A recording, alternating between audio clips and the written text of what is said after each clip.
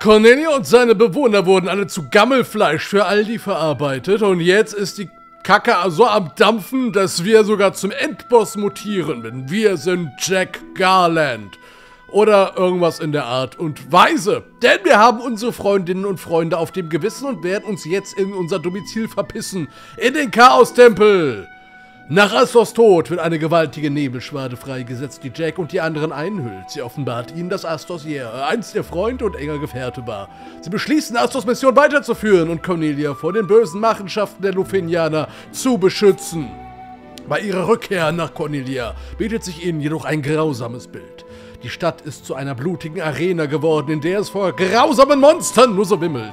Die Gefährten suchen Prinzessin Sela und Prinzessin Mia aus der Stadt zu retten, doch als die Flucht schon gelungen scheint, werden die Prinzessinnen niedergestreckt. In Jacks Armen tut Prinzessin Seele ihren letzten Atemzug, was den Krieger in tiefe Verzweiflung stürzt.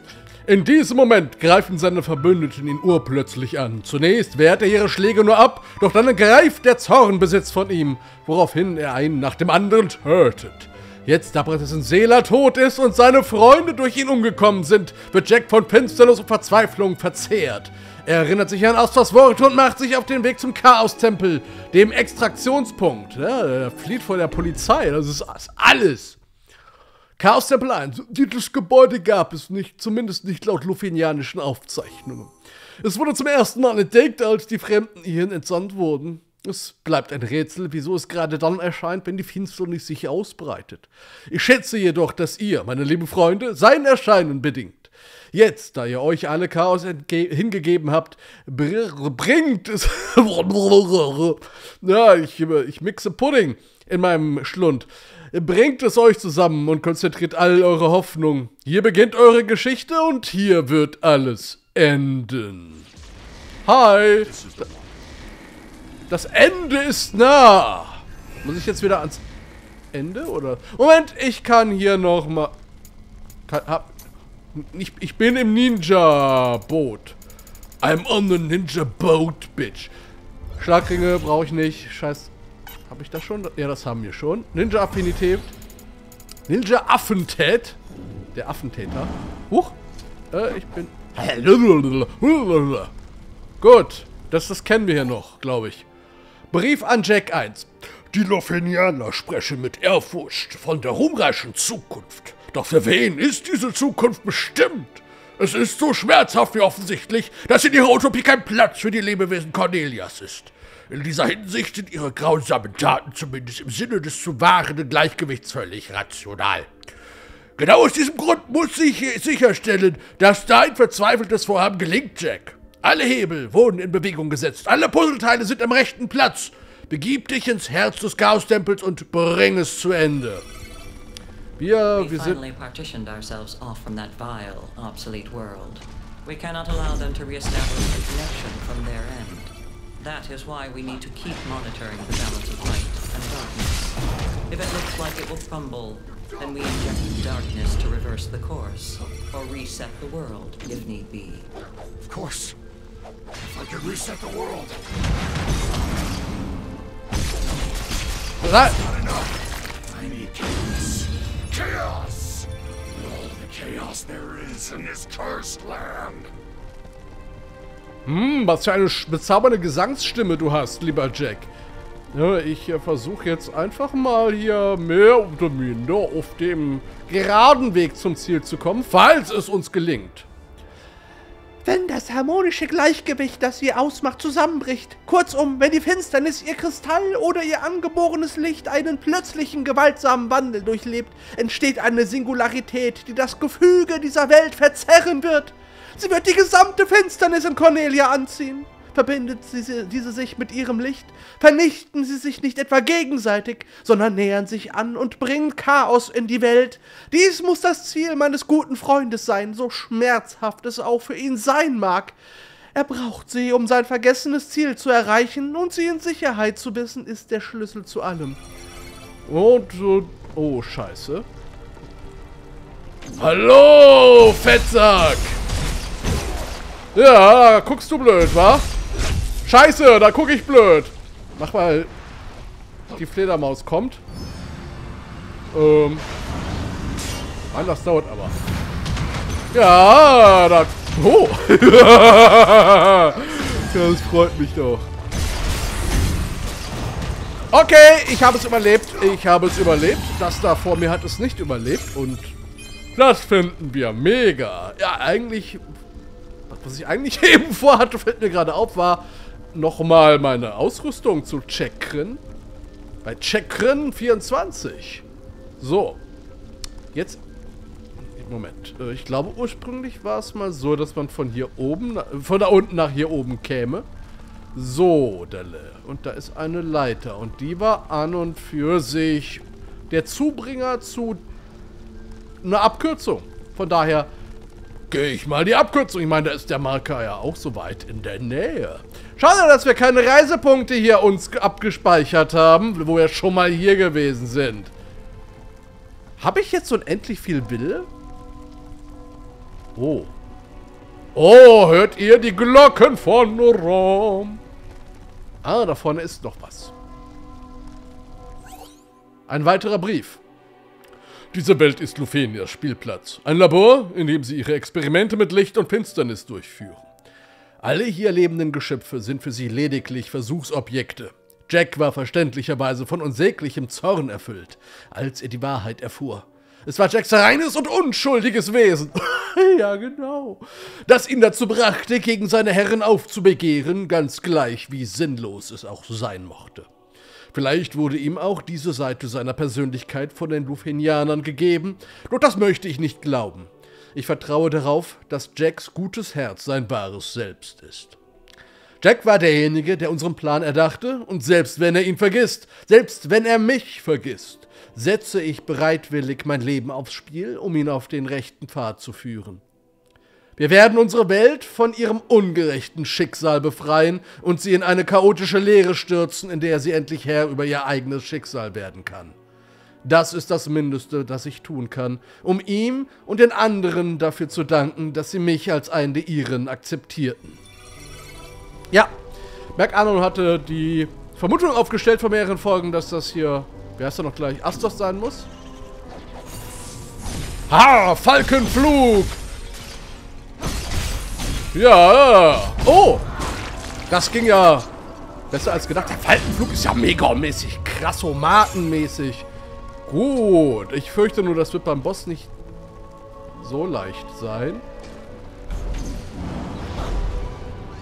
Warum immer Flugviecher? Warum? Warum? Ernsthaft? Darf ich, darf ich, darf ich etwas um... Noch wer? So. Erstmal muss der Knubbelflieger hier wegflitzen. Oh, wunderschön. Nein.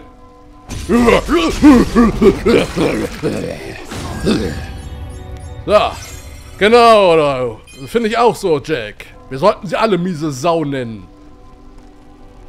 Okay, okay, okay. Mal sehen, wie weit wir es denn noch haben. Da brutzelt bei uns der Hoden weg, wenn ich das hier so sehe. Wenn ich wirklich unendlich viel Zeugs habe. So, ähm... Da oben hin wollen wir eigentlich. Wollen wir hier oben noch irgendwas Optionales mitnehmen?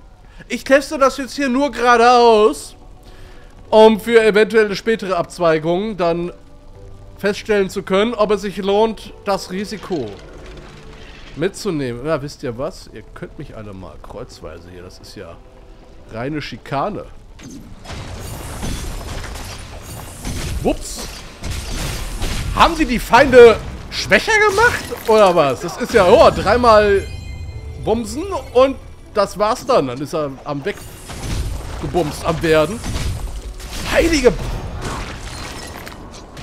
Oder die Macht des Chaos, die in uns reingekrochen ist, ist wirklich so geil, wie sie jetzt gerade den Anschein hat. Ich brauche meine Freunde nicht mehr. Ich bin jetzt eine Ein-Mann-Armee. Für zwei. Im Herzen der Singularität wird er wiedergeboren. Doch das allein reicht nicht aus. Er muss gewillt sein, die chaotische Finsternis der Singularität in seine Seele aufzunehmen. Ähnlich wie bei der Entstehung der Dämonen sind es Gefühle und Verzweiflung, die miteinander verschmelzen und die aus der Singularität entstandene Dunkelheit in reine Finsternis verwandeln. Von seiner tiefer greifenden Verzweiflung angezogen, wird ihm diese Finsternis auf Schritt und Tritt folgen. Es ist sowohl die Finsternis, die in diese Welt injiziert wurde, als auch jene, die hier erzeugt und genährt wurde, die ihn zum unausweichlichen Finale unseres Planes führen wird. Jetzt muss er nur noch das von mir präparierte Verzerrungsgerät nutzen, um sich und seine Schattengefährten in die Taschendimension zu schicken. Kann man, kann man diesen Satz jemandem schicken und äh, der kann daraus ableiten, was die Autoren geraucht haben? Gelingt es uns nicht, ihnen die Macht zu entziehen, mit der sie die Welt zurücksetzen, so wird unser Plan scheitern. Nicht wahr, Jack? Was zum Henker? Moment, jetzt muss er nur noch das von mir präparate Verzerrungsgerät nutzen, um sich und seine Schattengefährten in die Taschendimension zu schicken. Ja, meinetwegen. Verzerrungsgerät. Klingt so nach... Jet, Neon, Sophia, Oh. Chaos. Ja, nochmal ein bisschen Loot hier. Ah, wundervoll. Wir sind am nächsten Knubbel ange angelangt. Sehr schön. Ich glaube, eine Stufe habe ich geschafft. Kann ich denn da schon was aufsteigen? Uh, kann ich. Kann ich... Hm, Moment, was haben wir denn hier? Verlängert die Zeit mit jedem Angriff die Dauer des gegnerischen Statuslevel und Schwächung. Ja, das benutze ich ja so häufig. naja, was soll's. Wir sind ja eh anscheinend kurz vorm Ende, von daher... Ja, klar. So, jetzt aber. Also wer immer sich diese Gegnertyp hier ausgedacht hat, gehört gefickt. Also, also, aber auf, auf böse Art. Nicht, nicht auf die gute Art. Auf die, auf die. Nein, eigentlich nicht auf die böse. Das ist zu böse. Ich, ich habe nichts gesagt. Ich sollte. Ich kann einfach nicht denken, während ich rede. Weil Reden ja auch so eine Sache ist, die habe ich mal gelesen, gar nicht, zumindest an vielen Stellen, über das, was, was das Gehirn so in Vorleistungen nach vorne denken kann, äh, steigt. Und vielleicht stolper ich deswegen so häufig über meine eigene Zunge, weil ich das einfach probiere. I'll use their power against them. The power they fear the most. I'll tear it all down.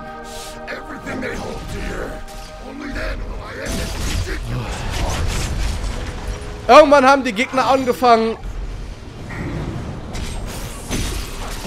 Irgendwann haben die Gegner angefangen, quasi nur noch ihre Super Specials zu spammen, zu spammen, zu spammen. Nein. Ja.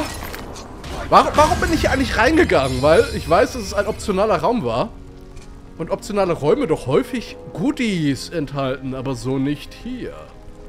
Sowas von überhaupt nicht hier. Okay. Von dort sind wir...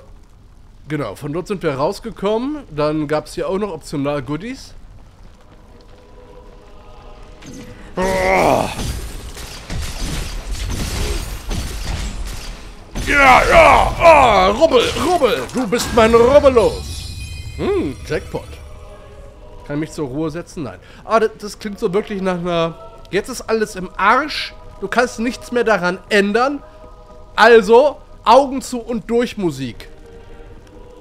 Oh, hier haben sie immer noch kurz vorher, bevor die Apokalypse reinbrach, also mal schön gebonert. I like it. In weiter Ferne liegt ein Ort, den man nur als andere Dimension bezeichnen kann. Hier errichteten die Lufenianer für ihre Zwecke die sogenannten Stationen. Stationen sind für Fremde wie ein Zuhause. Für mich sind sie gewissermaßen meine zweite Heimat. Von den unterschiedlichen Stationen aus überwachen und steuern die Lufenianer das Schicksal der Welt. Mit gefühlskalter Vernunft justieren sie das Gleichgewicht von Licht und Finsternis und verfügen sogar über die Macht, das gesamte Dasein bei Bedarf zurückzusetzen. Vor langer Zeit teiltest du mir deinen Wunsch mit, unsere Welt vollständig von den Lufinianern zu trennen und ihnen die Macht zu entreißen, mit der sie die Welt zurücksetzen können. Deshalb entwickelst du einen Plan und erklärtest mir ausführlich die Rolle, die ich darin einnehmen sollte. Doch genug der Geschichten.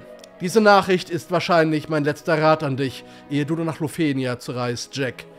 Werde zu Chaos, befreie uns von den Ketten dieser möchtegern Götter. Jetzt, jetzt äh, sind wir quasi an der... Sind wir an der Pforte? Warum ist kein Knubbel hier? Egal, wir treten hindurch.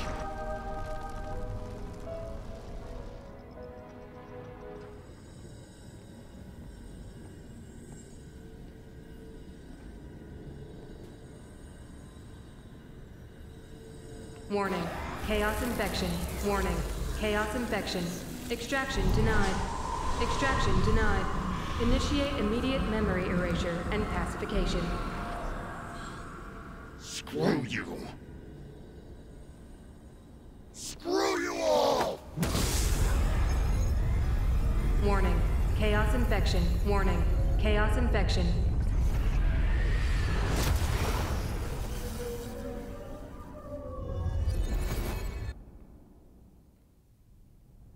Er geht nicht ins Licht, er ist das Licht. Das ist die Final Fantasy Version von Chuck Norris. Decompression in Station 19. Positive ID. Senior Agent Jack Garland. He's completely corrupted. But this wasn't in Astos' report. He's a traitor. That's why. Contagion confirmed. Report! Unknown. Suspected metaphysical anomaly. Corruption spreading. If this continues, he'll reestablish our link to the old world. Then we have no choice. Reset it. I see no other option. Activating dimensional crystal matrix. Preparing to initiate world reboot. Agent Jack Garland, can you hear me? Clear as day. The station you're in is infected. We're going to reinitialize it along with the old world. We've got no other choice. Who do you think you are? He's unintelligible. Likely due to chaos corruption. Jack, acknowledge. Who the fuck do you think you are? Dimensional crystal matrix ready. Standing by. Do it. Activating. Arrogant bastards! Wanna play God? I won't let you! I'll rip that power from your hands and make it my own! Okay, vor Time. Die!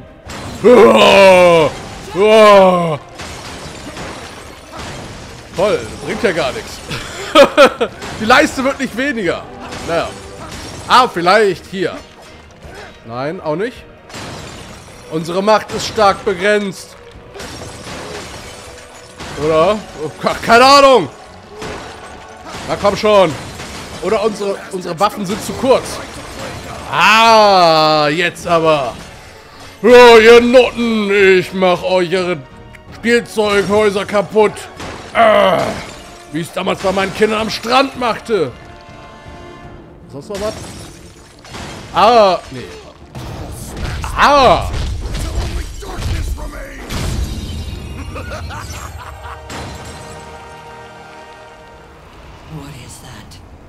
Analyzing. You're wasting your time. This soul is mine to devour. A feast fit for chaos! Now I'll swallow you whole, and even those damn fiends will kneel to me as their lord!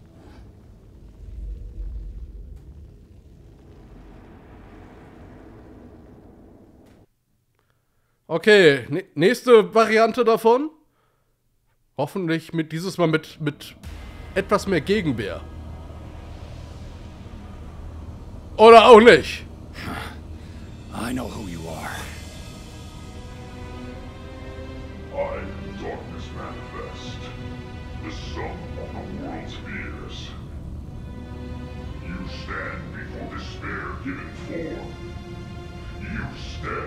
Before chaos. Shut up.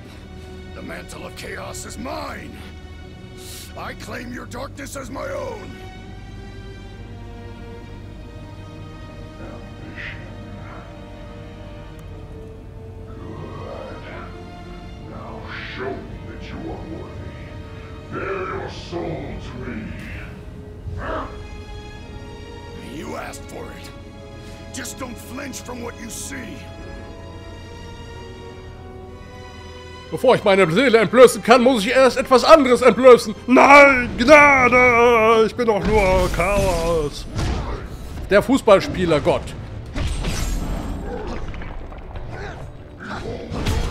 Au! Knapp.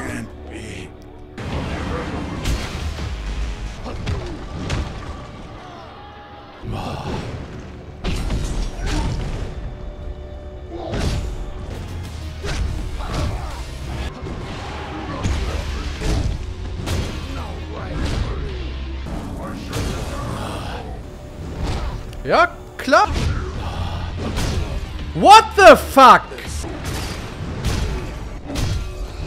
Ach, das fickt die... Oh, dieser Scheißtritt.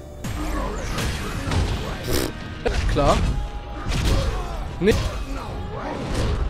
Warum? Ich drücke nach oben. Ich drücke die Scheißtaste nach oben, damit du Feuer benutzt. Und was machst du? Machst nichts.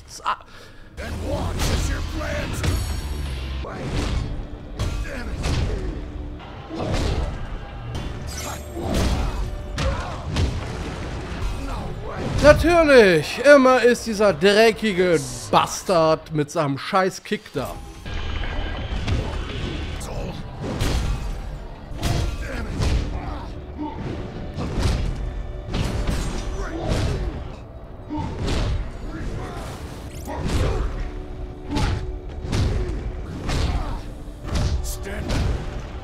Ja klar, natürlich.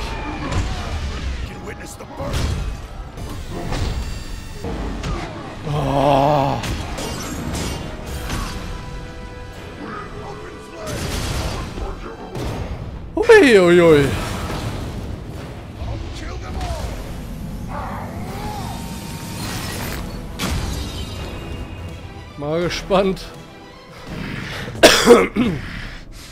Jack, let's talk this out.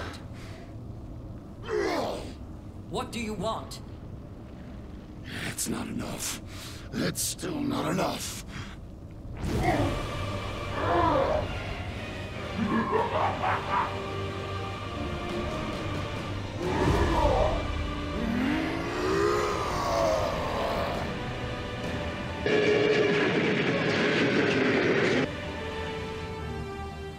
Darf ich bitte auch einen Buff haben und nicht nur der Boss?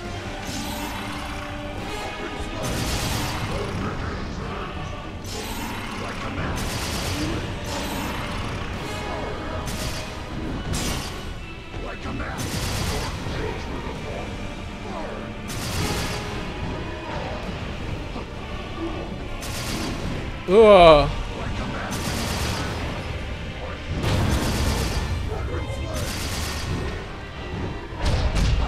Oh oh. Oh, scheiße. Mhm, genau.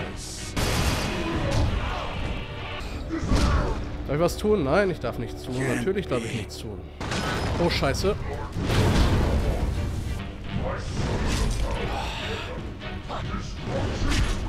Die ist jedes Mal das fickende Ruin. Jedes Mal.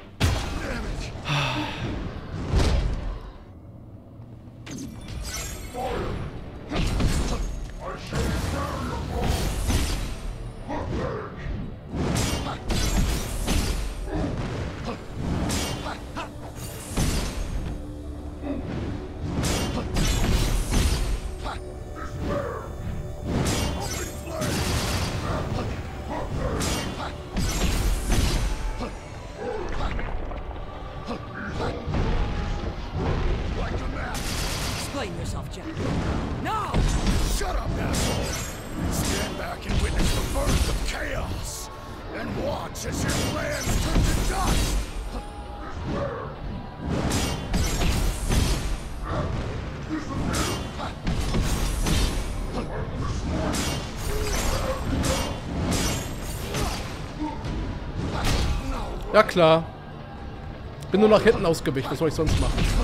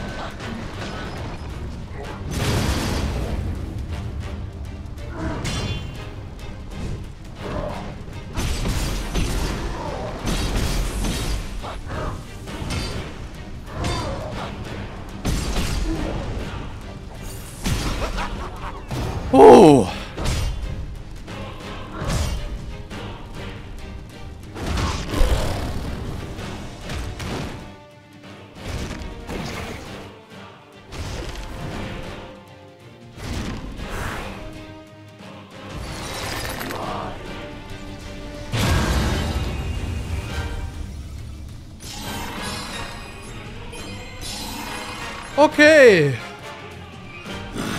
Boah.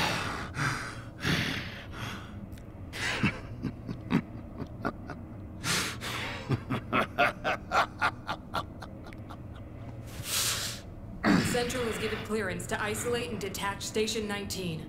Control is to be transferred to the next station. Agent Garland, you are hereby discharged. Goodbye, Jack. Lufenia thanks you for your service. You give Central a message of resignation for me. You'll never cast off your shackles to the old world. Not as long as you continue to flush your darkness into Cornelia. So I'll bide my time, gather my strength, and use that link to return someday. Mark my words. I'll be back to wipe all of you from existence. I'll burn your precious Lufenia to the ground. That is absurd. You saw the power I now wield. Chaos, unpredictable, uncontrollable, while our technology advances by the day. While you're down there, Jack, do remember to keep an eye out for the Warriors of Light. Balance is everything. Champions will arise one day to bring you low. What the hell do you know about Cornelia? Here's a tip. There's no such thing as the Warriors of Light. They're just empty hopes, false dreams, childish fantasy. Ah. Lieber kindische Fanta als gar keine Fanta.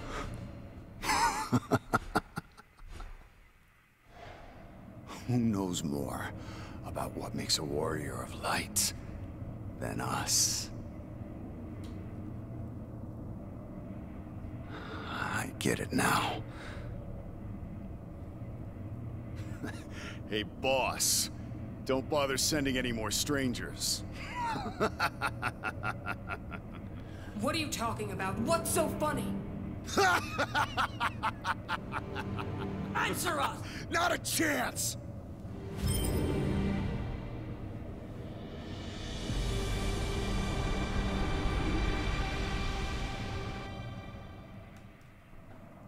Jetzt bin ich mal gespannt, was jetzt kommt.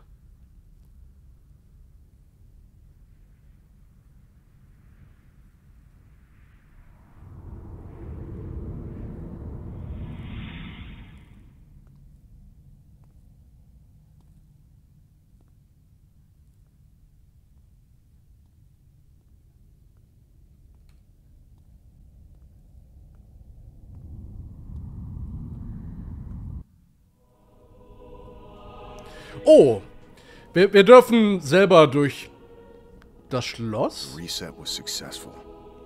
This was all part of our plan, wasn't it, Ash? Ich habe zuerst gedacht, wir wären in Schloss Cornelia. Sorry, Jed. It was never a mercy to forget. You were right. And I should have listened. Sieht aber mehr nach dem Sorry to get you mixed up in all of this. Thanks for sticking with us till the end. Sophia, this is our world now. I won't let those bastards use it as their plaything. Those of you who love Cornelia, never give up hope. The Warriors of Light will come one day. in 8-Bit-Optik. Und sie können ihre Klassen nicht wechseln, die armen Schweine.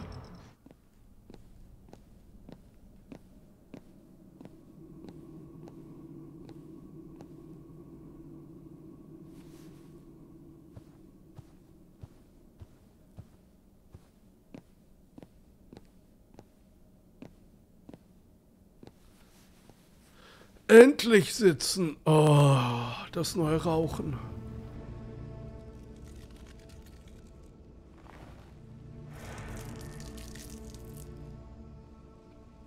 Welcome home.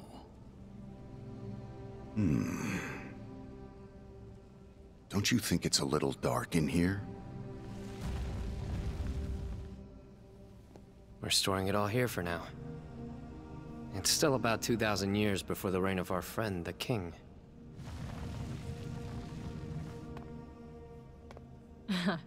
We wove the threads of darkness to pull you back through time. Lufenia's tentacles can't reach us here.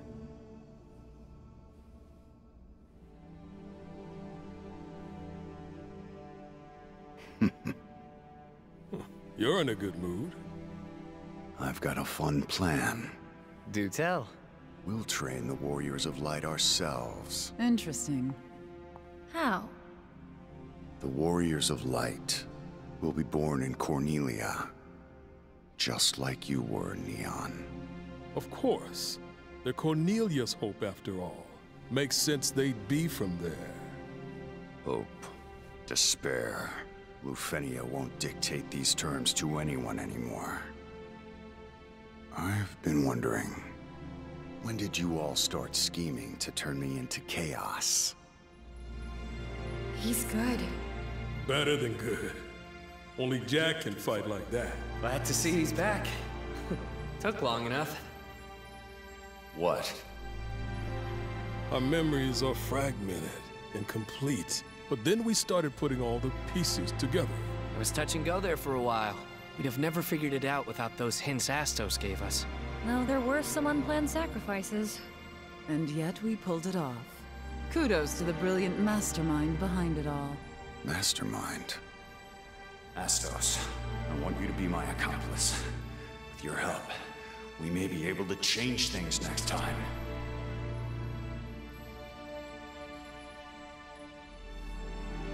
Be safe, Jack. May the crystal's blessing be with you, always.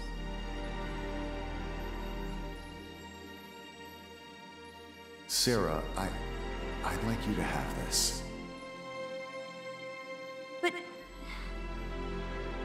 This is very special to you. You've never even let me touch it before. A friend gave me some advice once. He said, you've got to be crazy if you want to change the world.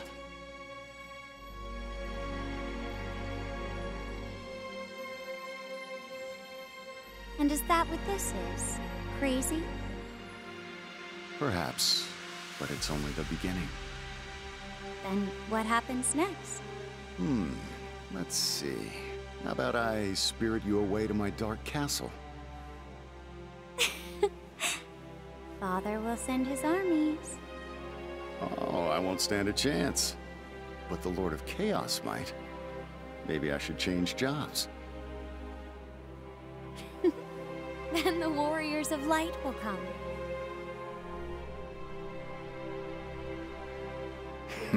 They're welcome to.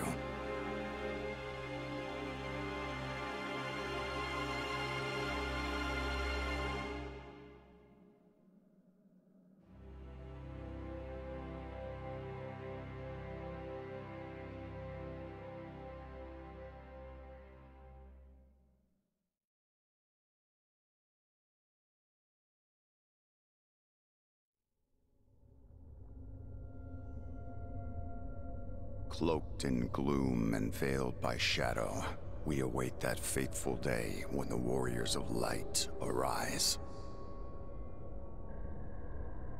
Although their glow may be faint at first, even a sputtering candle is brilliant against the black of night. And so...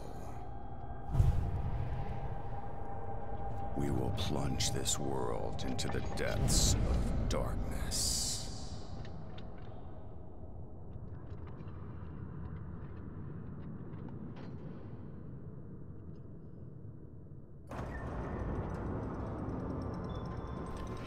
So, das war ein Spiel, würde ich mal sagen. Und das Spiel hatte eine Story. Achso, nur für den Hintergrund. Hier läuft gerade wieder das berühmte Frank Sinatra-Lied I Did It My Way. Warum auch immer. Äh, also muss ich mir irgendwas anderes raussuchen, was ich dahinter lege, damit es nicht ganz, ganz ruhig ist, während ich hier jetzt herumlabere.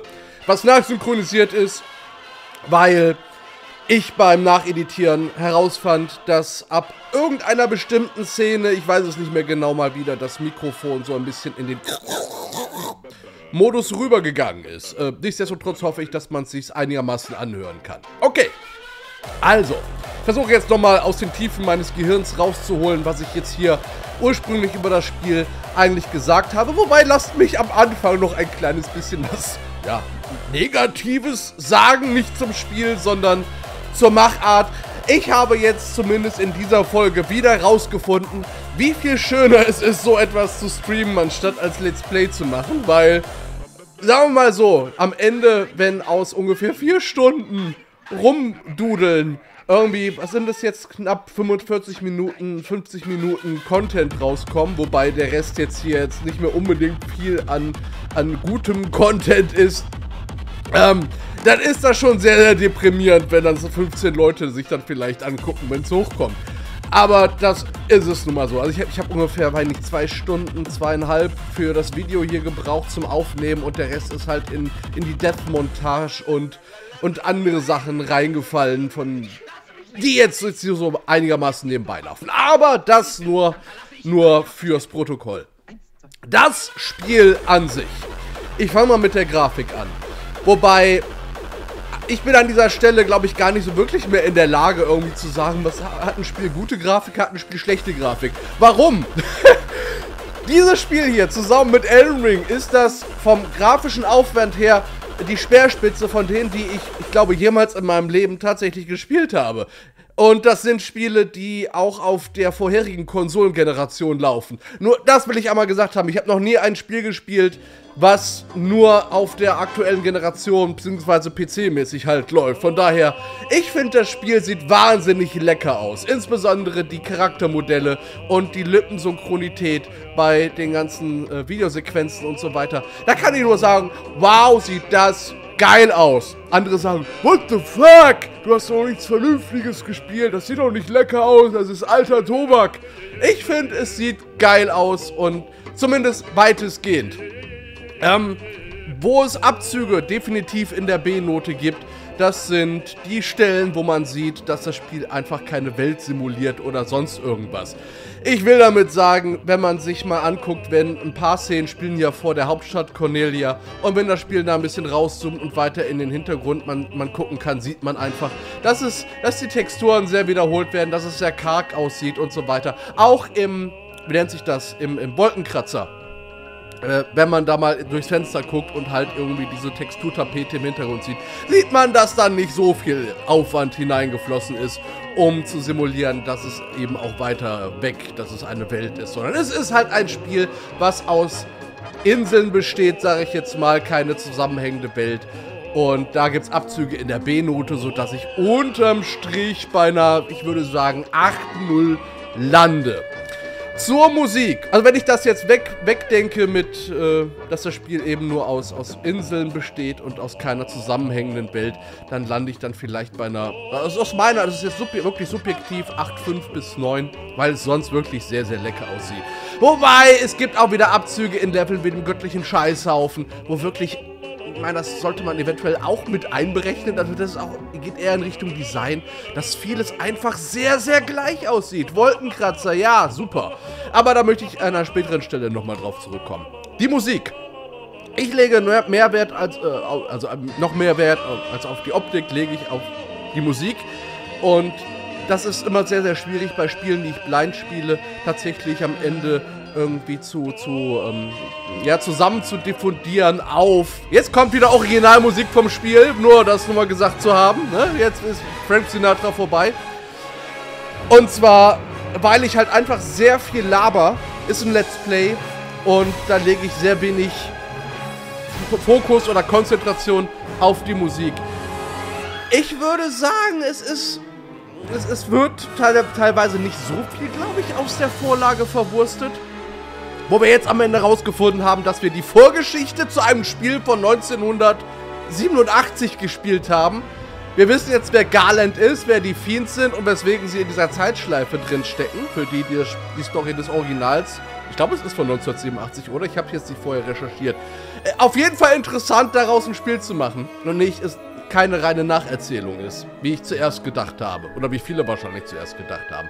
Aber nochmal zur Musik. Ich glaube, die Musik funktioniert. Es ist wenig vom Original verwurstet worden, glaube ich.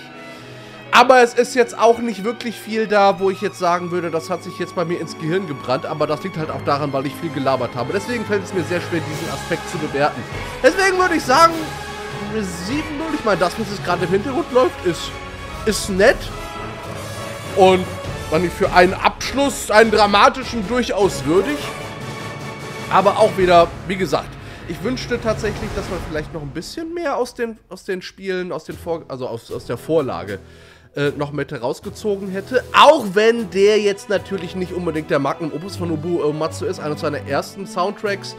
Hat mit Matoyas Cave, ist ja ein ganz berühmter, ähm, ein ganz berühmtes Stück daraus, Ansätze seiner Genialität aber halt eben, es war das erste Rollenspielwerk, soweit ich das weiß, von ihm. Und da gibt es auch in den, ich glaube, Final Fantasy 3 hat noch durchaus, also da merkt man schon, dass er auch da äh, sicherlich eine krasse Entwicklung schon in der NES-Zeit durchgemacht hat.